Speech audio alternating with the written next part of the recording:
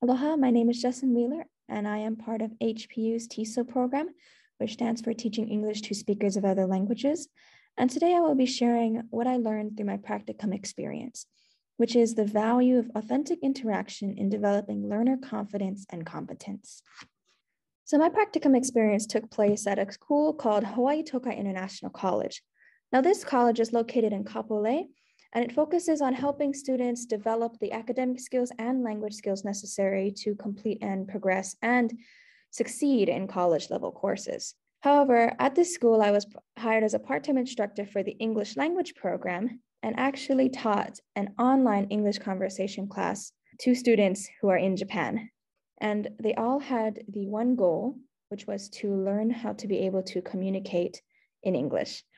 Now, keeping this goal in mind, my responsibility as the part-time instructor were to develop a proper curriculum and lesson plans that would help students achieve this goal. To prepare for my practicum experience, I had many discussions with my mentor about appropriate activities and about the teaching site itself. And I also talked with faculty members within the TESOL program about what teaching approaches and teaching activities might be best for my students.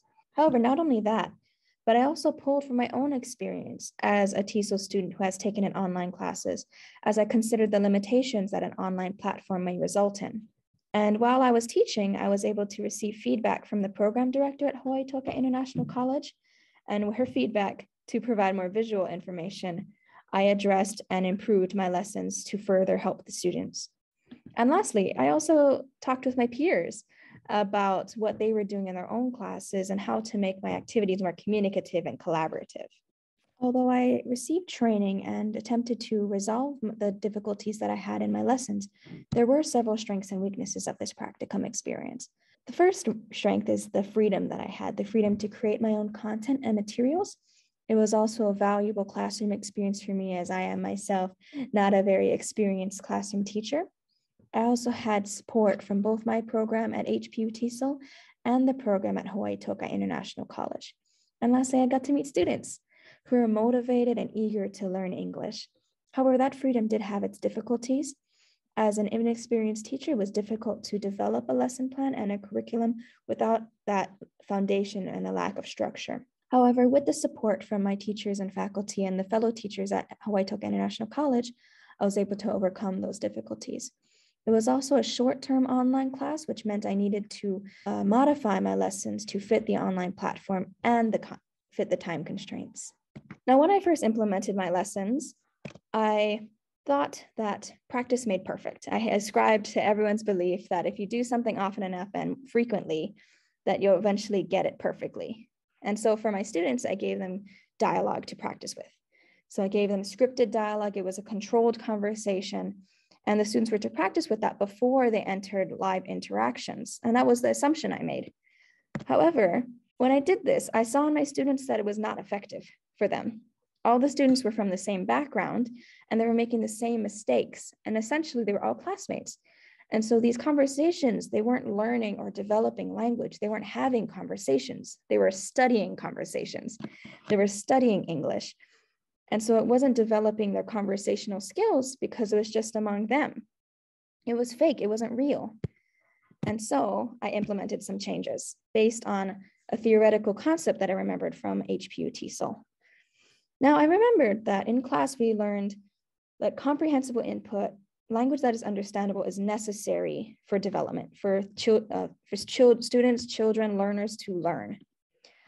However, Michael Long in 1983 built on this idea and came up with the interaction hypothesis, which stated that the language, the input, is made comprehensible and understandable during interaction. And so not only is understandable language necessary, but interaction is also necessary for the students to really develop their language abilities. And so I want to go over his key points about negotiation meaning occurring during interaction.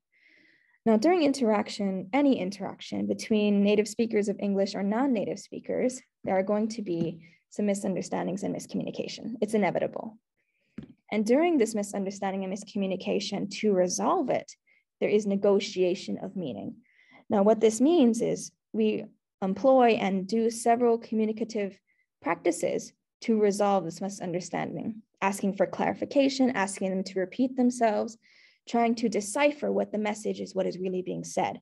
And for learners, this is especially valuable as it leads to language acquisition. They receive feedback from their participant in the conversation on what they're, if what they're saying is right or not. And this negotiation of this space where they interact with another speaker and discuss their own language use is really helpful to them. That's where they learn. In my classroom, instead of having scripted dialogue, I had them have conversations with my fellow HPU classmates. An example is over here, Shun Ishihara, a current BA student in the TESOL program. And these conversations were real. They weren't scripted, they weren't dialogues, they were uncontrolled. And so students had the ability, the freedom to talk about what they wanted and the freedom and the opportunity to receive feedback, to negotiate for meaning. So because of these changes, I saw not only language development, but an increase in their confidence, an increasement in their enjoyment in using English. So overall, very positive results. And I learned the value of authentic interaction. You know, having students actually talk with others and not just study by themselves or study with their classmates, but have real conversations where they're trying to communicate something and trying to get to know someone is very important for language development. I also learned that learners are capable. You know, they're able to do things we don't expect them to. I also learned that the teacher is not the authority, the teacher is the helper. I found that I was there to help them. You know, if they had trouble um, saying something, I was there to give advice or give suggestions.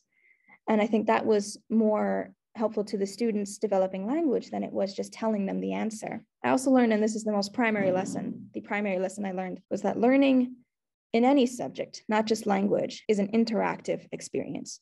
Finally, I want to end on this quote by Helen Keller, who says that alone we can do so little, together we can do so much. Thank you for listening to my presentation.